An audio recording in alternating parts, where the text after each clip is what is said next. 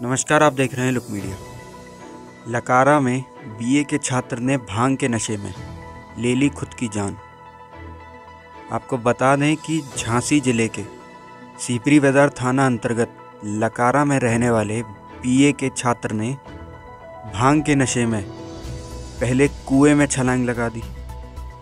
समय रहते उसको बाहर निकाल लिया गया, परंतु उसके बाद भी वह नहीं माना। तो फिर उसने रात्रि में घर के बाहर फांसी लगाकर आत्महत्या कर ली। पुलिस ने शव को कब्जे में लेकर पोस्टमार्टम के लिए भेज दिया है। फ़िलहाल अभी ये पता नहीं चल पाया है कि उसने आत्महत्या क्यों की है। और ताज़ा खबरों के लिए देखते रहिए लुक मीडिया। एक मिनट हमारे साथ।